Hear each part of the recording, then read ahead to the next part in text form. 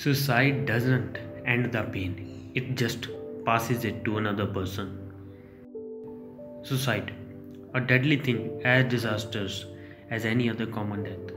Suicide occurs more often in older than in younger people, but is still one of the leading causes of death in late childhood and adolescence worldwide. This not only results in a direct loss of many young lives, but also has destructive psychological, and adverse socio-economic effects. Suicide is defined as a fatal self-injurious act with some evidence of intent to die. Worldwide, more than million people die due to suicide each year. The suicide mortality rate in 2015 was 10.7% per lakh, which means about one death every 20 seconds. Suicide accounts for 1.4% of all deaths. It's difficult to imagine what led a friend, family member, or celebrity to commit suicide. There may have been no clear warning signs, and you may wonder what clue you might have missed. Often, many factors combine to lead a person to a decision to take their own life. But surveys conclude that there are four major reasons behind suicidal activities. Let's get to reasons. Later on, we will discuss the solution. Number 1 Mental illness.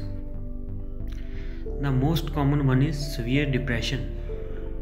Depression can make people feel great emotional pain and loss of hope, making them unable to see another way to relieve the pain other than ending their own life. According to the American Foundation for Suicide Prevention, depression is present in about half of all suicides. Number 2 Traumatic stress. A person who has had a traumatic experience including childhood sexual abuse, rape, physical abuse, or war trauma is at a greater risk for suicide even many years after the trauma. In a survey of 6,000 US adults, nearly 22% of the people who have been raped had attempted suicide. Number 3. Hopelessness. Hopelessness, either in a short term or as a longer lasting trait, has been found in many studies to contribute to the decision to commit suicide. When people feel they have lost all hope and don't been able to change that, it can overshadow all of the good things in their life, making suicide seem like a viable option. Number 4. Loss or fear of loss. A person may decide to take their own life when facing a loss or the fear of a loss. This situation includes academic fear, job loss, financial problems, loss of social status, end of a close friendship or romantic relationship. So these are the reasons for the societal activities. Now here is the solution.